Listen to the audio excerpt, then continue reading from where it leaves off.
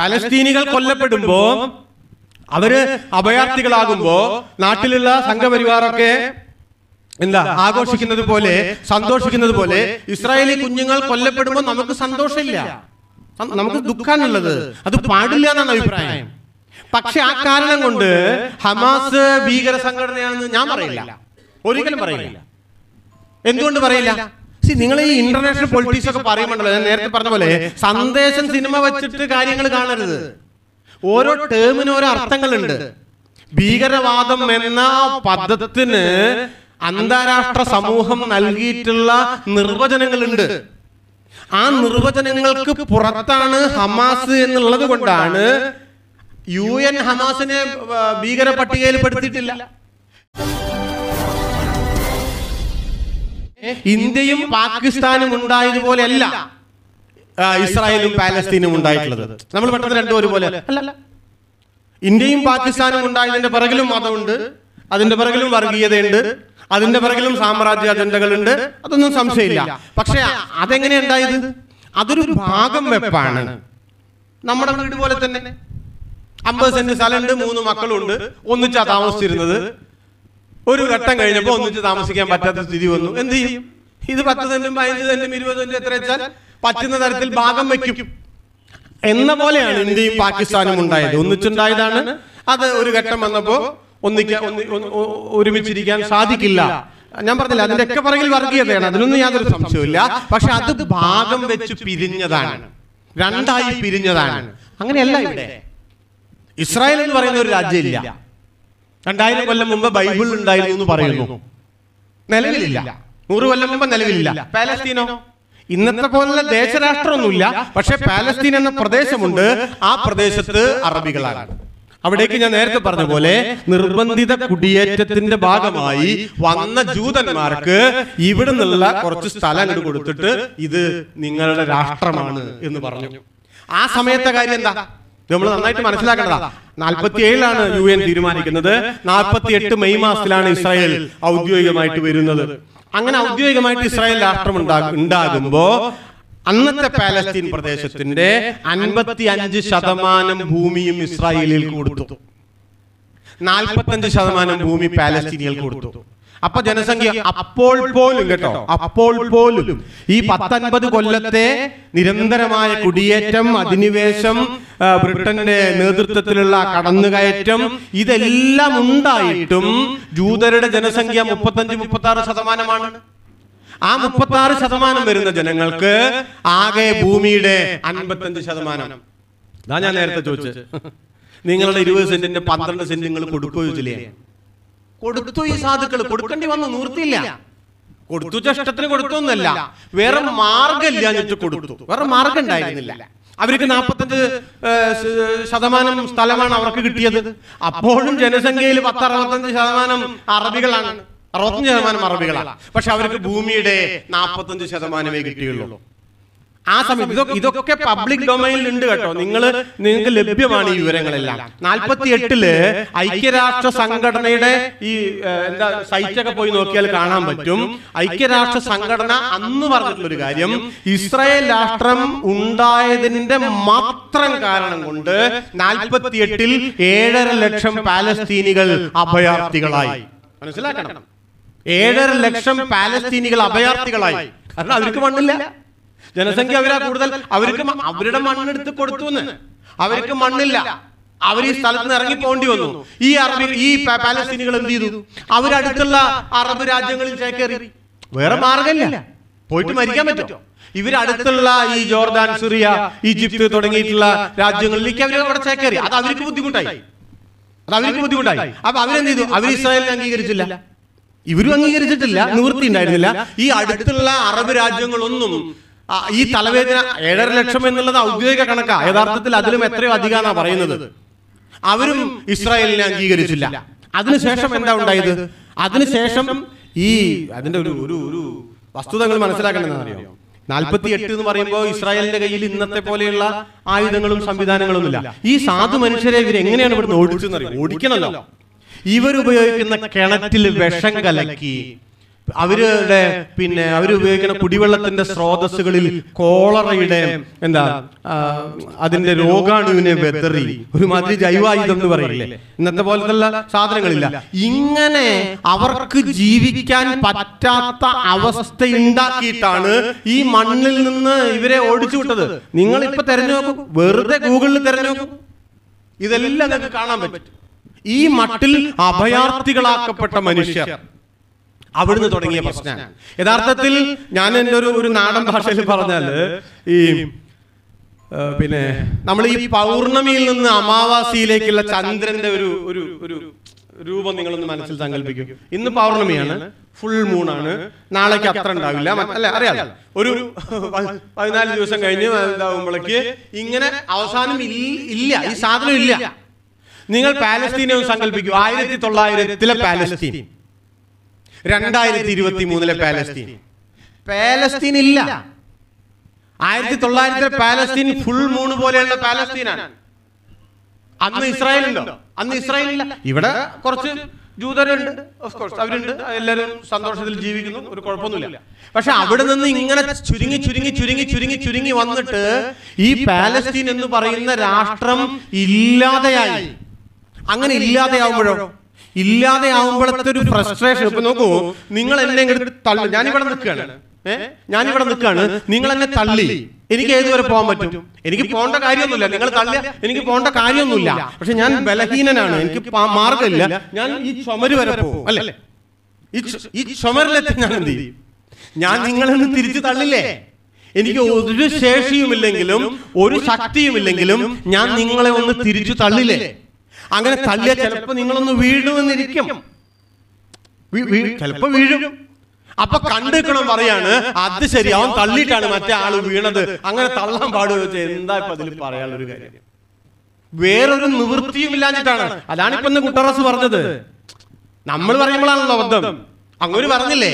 ശൂന്യതയെന്നുണ്ടായതല്ല ശൂന്യതയെന്നുണ്ടായതല്ല ഈ നാൽപ്പത്തി എട്ടിന് ശേഷം ഇസ്രായേലിന്റെ നിരന്തരമായ അധിനിവേശമാണ്. പലതരത്തിൽ ഞാൻ അതിന്റെ വിശദാംശങ്ങൾ ഇപ്പോൾ ഇവിടെ പറഞ്ഞില്ല? സമയമില്ലാത്തതുകൊണ്ട്.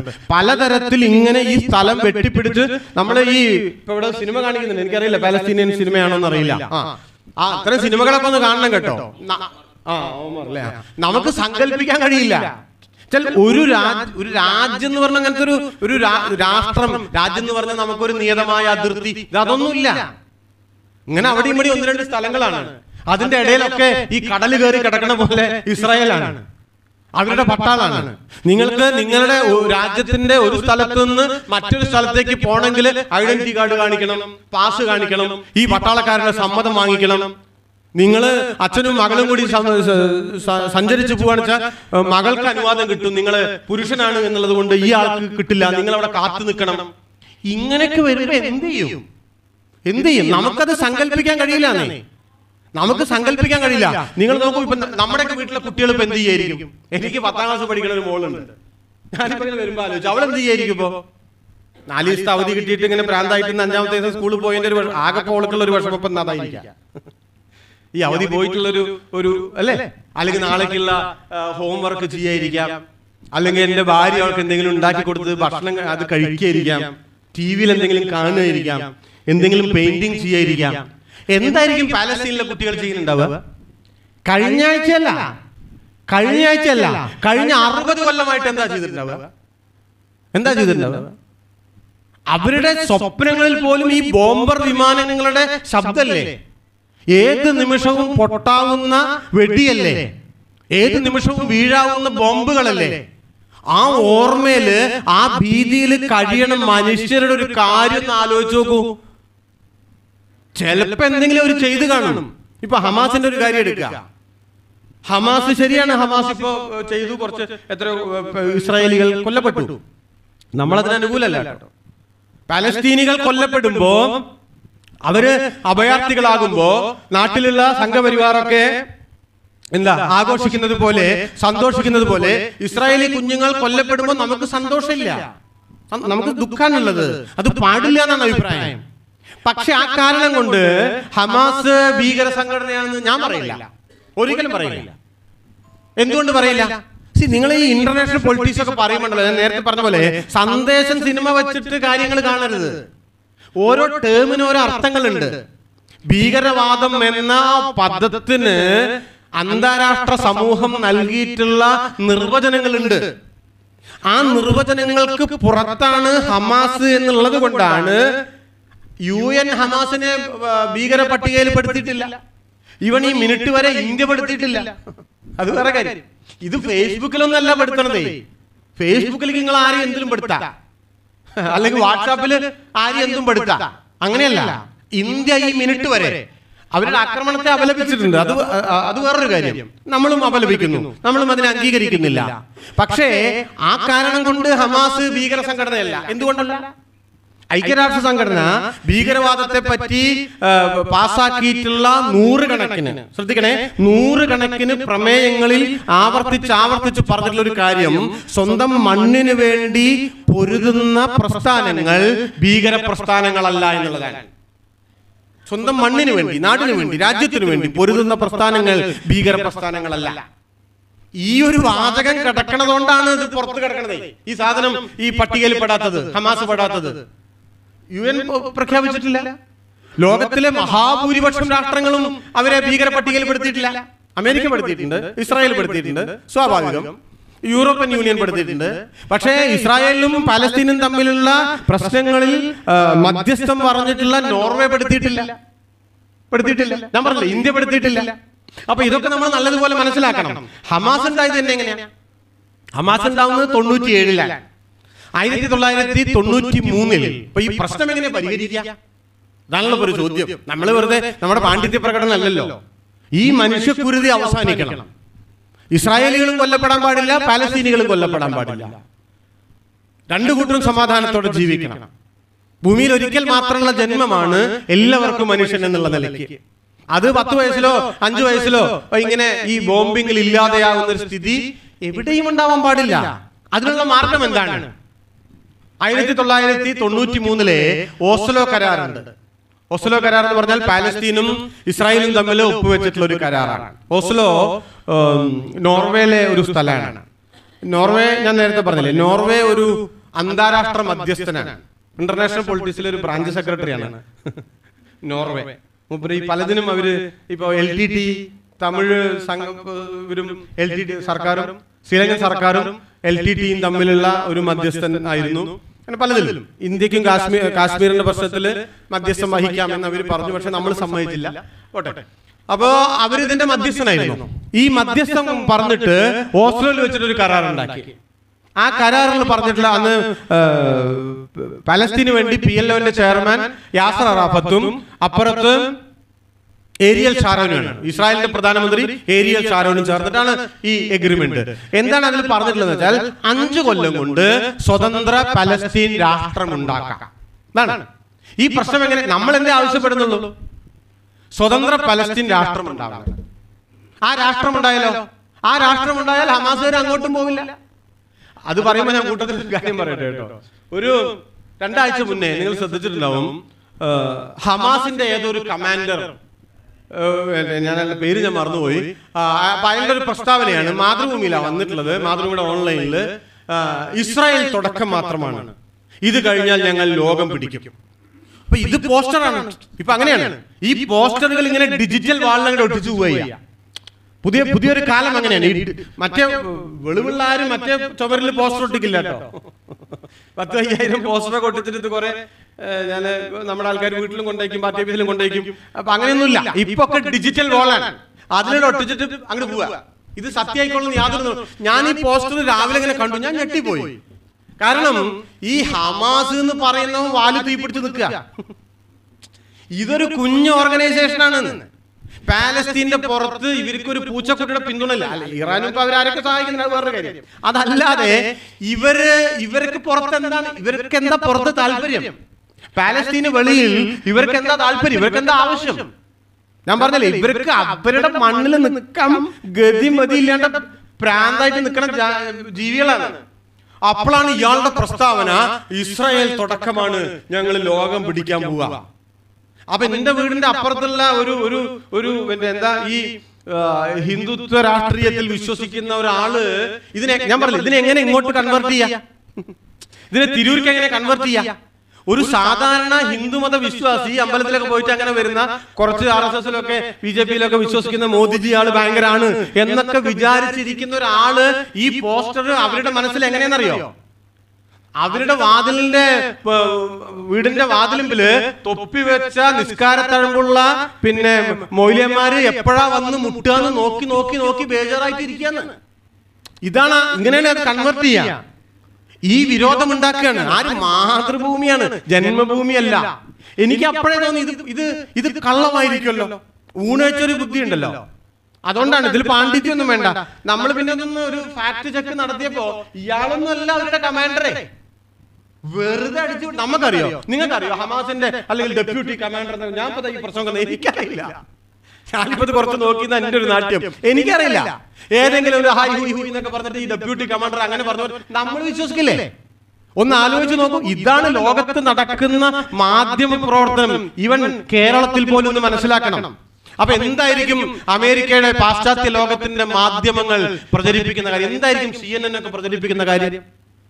അത് വേറൊരു വിഷയമാട്ടോ ഗൾഫ് യുദ്ധത്തിന്റെ ഒക്കെ കാലത്ത് അവർ ലോകത്ത് പ്രചരിപ്പിച്ചു പോന്ന ഈ ഇസ്ലാം വിരുദ്ധമായ പാശ്ചാത്യ ലോകത്തിന് അനുകൂലമായ ലക്ഷക്കണക്കിന് വാർത്താ ശകലങ്ങളെ പറ്റി ധാരാളം സ്റ്റഡീസ് ഒക്കെ വന്നിട്ടുണ്ട്.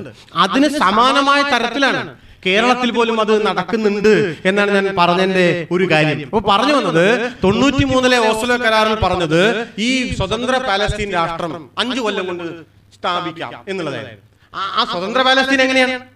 ആയിരത്തി തൊള്ളായിരത്തിലെ പാലസ്തീനാണോ? അല്ല. അല്ല. ആയിരത്തി തൊള്ളായിരത്തി നാൽപ്പത്തി എട്ടിലെ പാലസ്തീനാണോ? അതായത് നാൽപ്പത്തഞ്ച് ശതമാനം ഭൂമി? അല്ല. പിന്നെയോ ആയിരത്തി തൊള്ളായിരത്തി അറുപത്തി ഏഴിലെ പാലസ്തീൻ.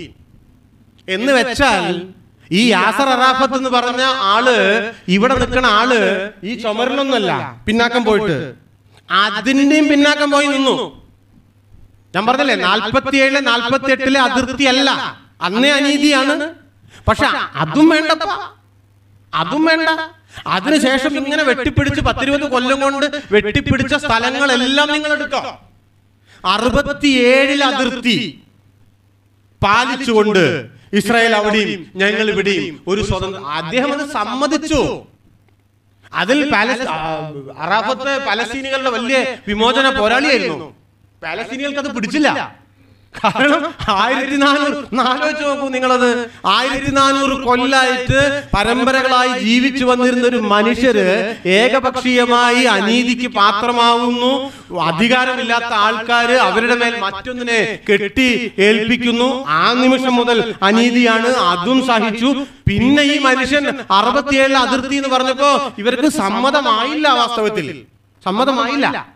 പിന്നെ നിവൃത്തിയില്ല. നിവൃത്തിയില്ല. അന്ന് അറാഫത്തിന്റെ ഒരു പ്രസംഗമുണ്ട് യു എനിൽ എന്താ പ്രസംഗം എന്നറിയോ? നിങ്ങൾ അദ്ദേഹത്തിന്റെ ഫോട്ടോ ഒക്കെ കണ്ടിട്ടുണ്ടോ? ഈ പട്ടാള? അദ്ദേഹം ഒരു ഗറില്ലയാണല്ലോ ബേസിക്കലി അദ്ദേഹം പറയുന്നുണ്ട് എന്റെ ഒരു കയ്യിൽ യന്ത്രത്തോക്കും ഒരു കയ്യിൽ ഒലീവിലകളുമുണ്ട്. ഒലീവില ഈ സമാധാനത്തിന്റെ സിമ്പിൾ ആണല്ലോ. ഈ ഒലീവിലകൾ താഴെ വീണു പോകാതിരിക്കാൻ നിങ്ങൾ സഹായിക്കണമെന്നാണ്. ആരാണ് ഈ നിങ്ങൾ? ലോകത്തോട് നടത്തുന്ന അഭ്യർത്ഥനയാണ്. ഞങ്ങളൊരു ഒരു ചെറിയ രാജ്യമാണ് അല്ലെങ്കിൽ രാജ്യമല്ല. ഒരു സമൂഹമാണ്. രാഷ്ട്രമൊന്നുമല്ല. രാഷ്ട്രമില്ലാത്ത ജനതയാണ്. ആ ഞങ്ങൾക്ക് പ്രത്യേകിച്ച് പവറൊന്നുമില്ല ആയുധങ്ങളൊന്നുമില്ല. പക്ഷെ യന്ത്രത്തോക്കുണ്ട് ഗതിയില്ലാഞ്ഞിട്ടാണ് നിവൃത്തിയില്ലാഞ്ഞിട്ടാണ്. അത് ഉപയോഗിക്കണമെന്നില്ല. ഈ ഒലീവിലെ താഴെ വീണു പോകാതിരിക്കാൻ നിങ്ങൾ സഹായിക്കണം എന്ന് ലോകത്തോട് അഭ്യർത്ഥിക്കുന്നുണ്ട്. എന്ത് ചെയ്യണം? ലോകം നമ്മുടെ മുമ്പിലുള്ള ചോദ്യം. ആ ഒലീവില വീണു പോകാതിരിക്കാൻ ലോകം പാലസ്തീനികളെ സഹായിക്കണ്ടേ?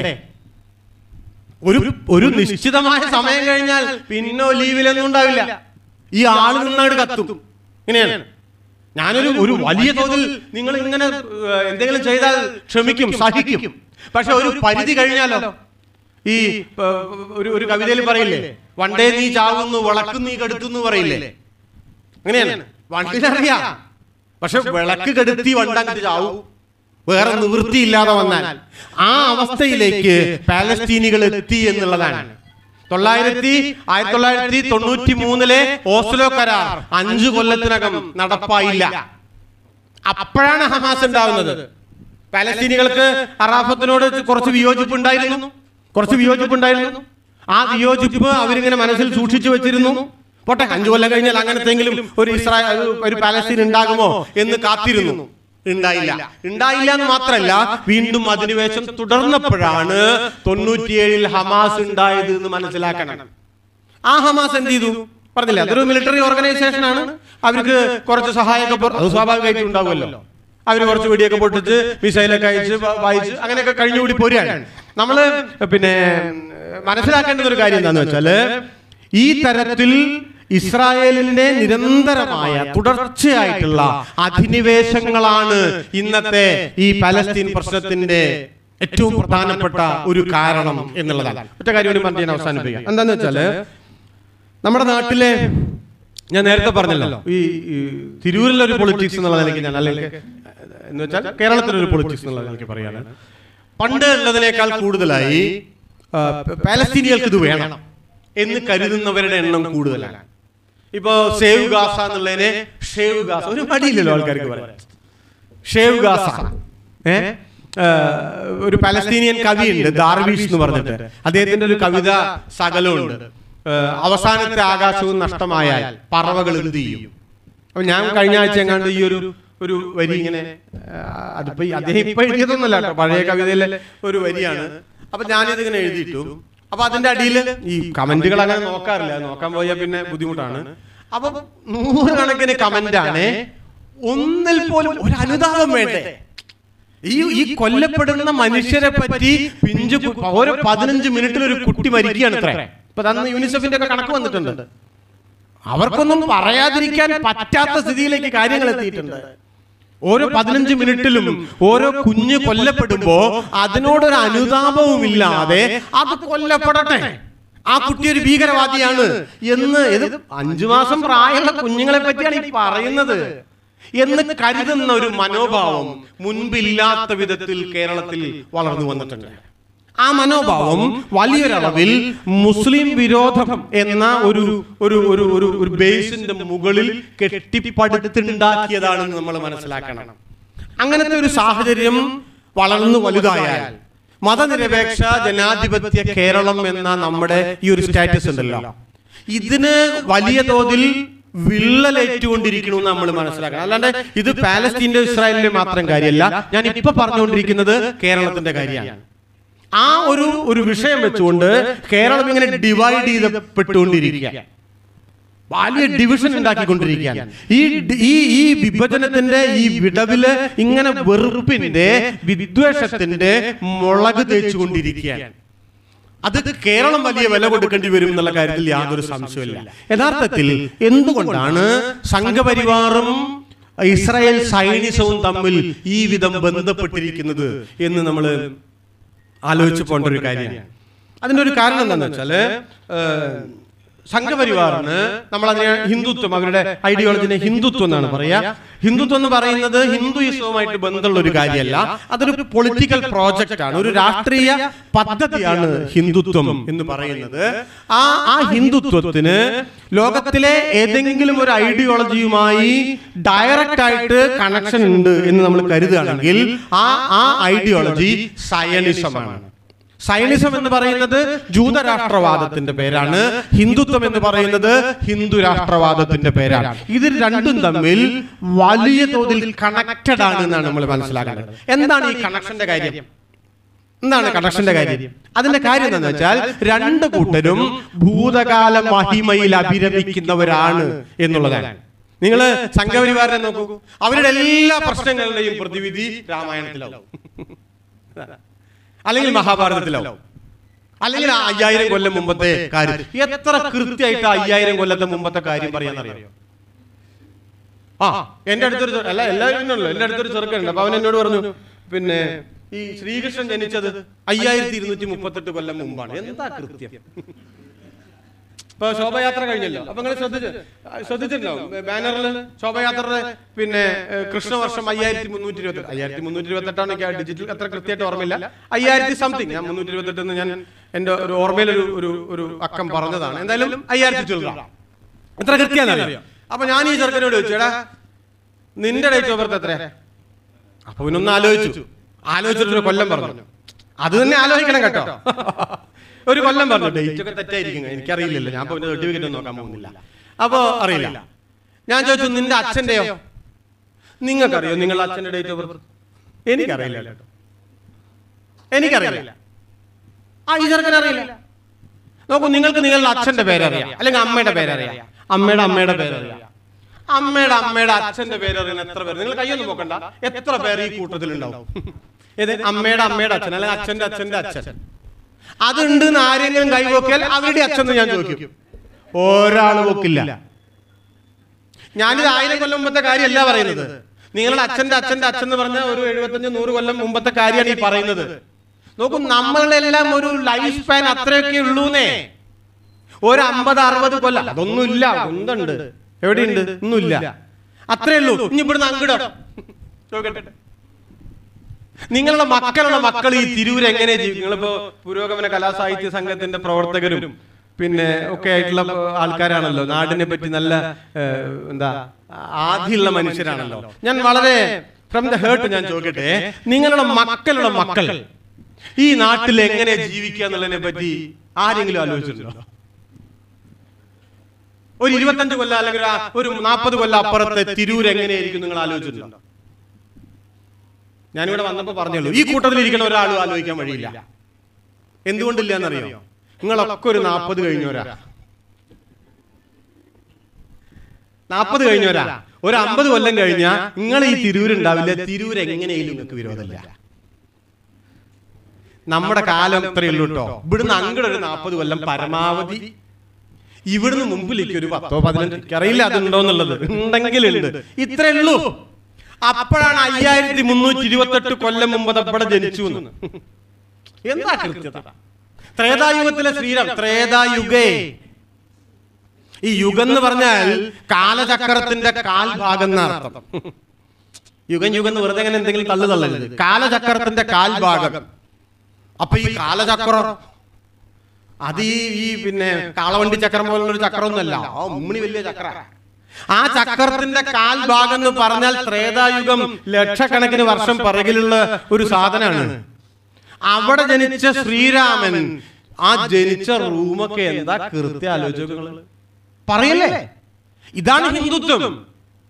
ഇങ്ങനെ മുമ്പിലേക്ക് ഓടണ വണ്ടിയിൽ പിറകിലേക്ക് തിരിഞ്ഞിരിക്കണ ഒരു ഐഡിയോളജിയാണ് സങ്കല്പിച്ച് നോക്ക് വണ്ടി മുമ്പിലേക്കാ പക്ഷെ രണ്ടാൾ സീറ്റ് പിന്നിലേക്ക് അങ്ങനെ തിരിഞ്ഞിരുന്നല്ലോ ഇവർ മുമ്പിലത്തെ ഒരു കാര്യം കാണില്ല.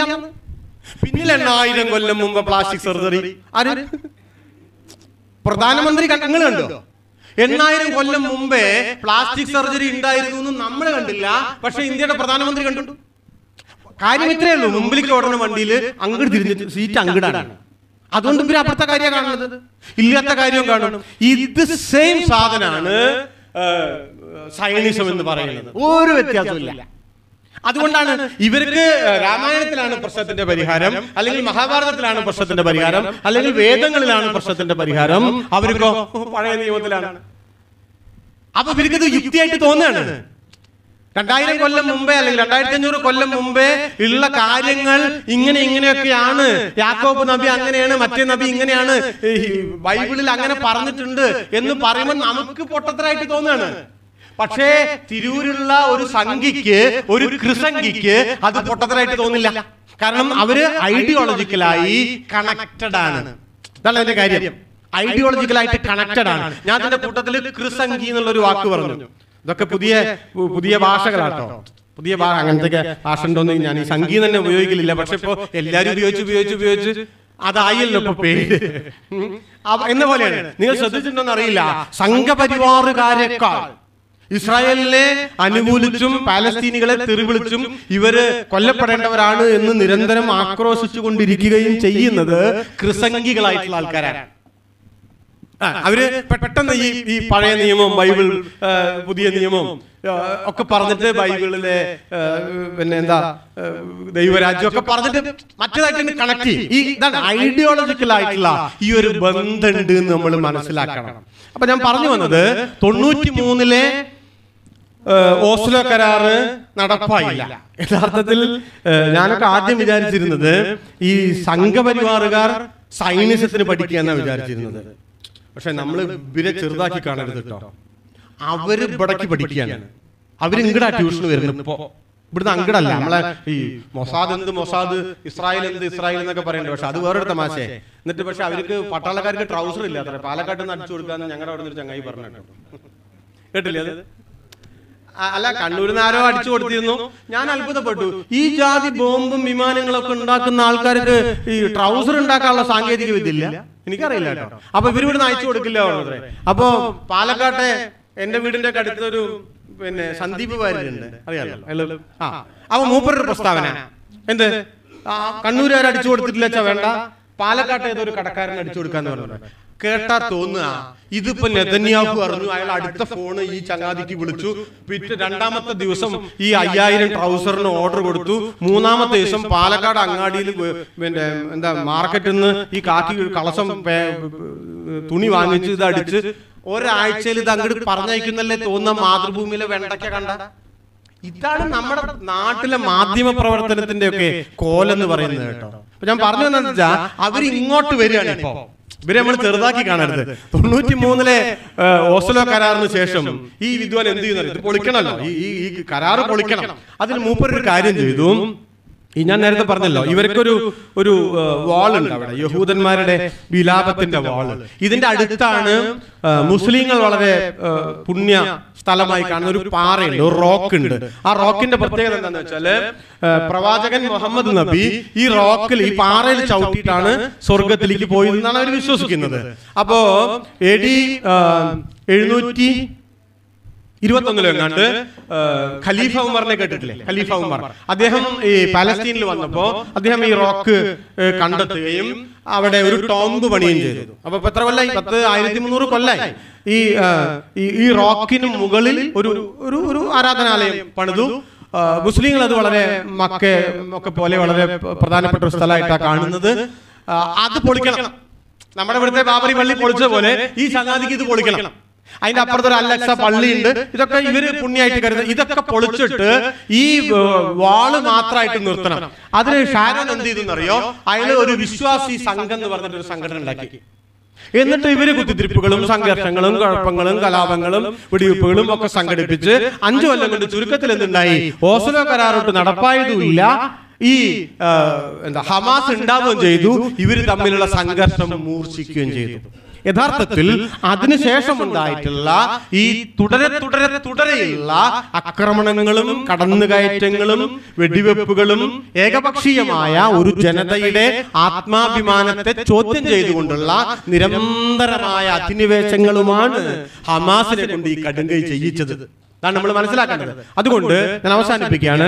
പിന്നെ ബൊളീവിയയുടെ മറ്റു പ്രസിഡന്റ് സൂചിപ്പിച്ചതുപോലെ തീർച്ചയായും കേരളത്തിലെ ഇടതുപക്ഷക്കാർ ആഗ്രഹിക്കുന്ന ഒരു കാര്യം ഇസ്രായേലിലെ കുഞ്ഞുങ്ങൾ സമാധാനത്തോടെ കിടന്നുറങ്ങണമെന്നാണ്. ഞാൻ ആ വാക്ക് പറയാനാണ് ആഗ്രഹിക്കുന്നത്. ഇസ്രായേലിലെ കുഞ്ഞുങ്ങൾ സമാധാനത്തോടെ കിടന്നുറങ്ങണം. അവർ കൊല്ലപ്പെടാൻ പാടില്ല. ഹമാസിന്റെ ഒരു റോക്കറ്റും അവരുടെ ഫ്ളാറ്റിലേക്ക് ചെല്ലാൻ പാടില്ല. അതിനുള്ള മാർഗം എന്താണ്?